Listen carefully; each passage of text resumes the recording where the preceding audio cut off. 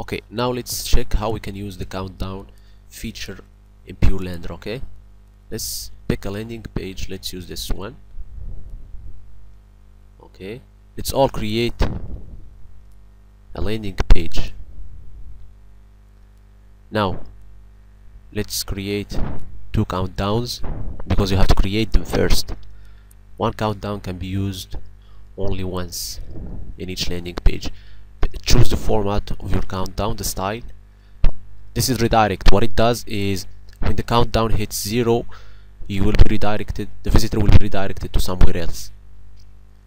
But we only gonna leave it empty okay? Let's add this countdown. It's green that means you can use it. Let's add another okay? Th these are the seconds. Let's pick this format here this style. Let's add. Okay now we have two countdowns. Let's use them. This is your best let's preview the landing page first. Okay. This is your best chance to win an iPhone 6 today.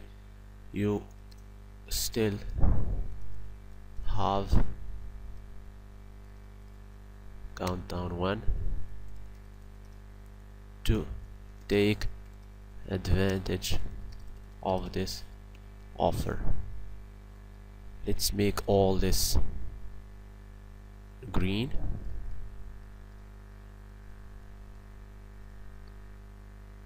Dark green. Let's make it bold. Let's make the countdown red okay. Uh, let's save. Let's refresh. See the countdown works. You can put the countdown wherever you like. You can put it here or even in the call to action button. Okay? Let's let's use the second countdown in call to action button. Let's go to countdowns. This is the countdown number two.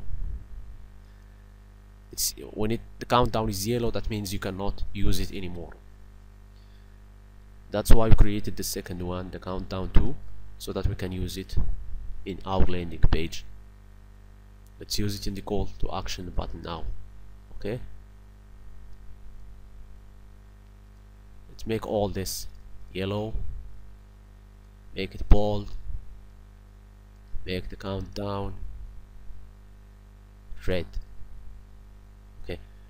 Let's update let's refresh. See? The countdowns works. You can put them whatever you like whatever you want. And that's it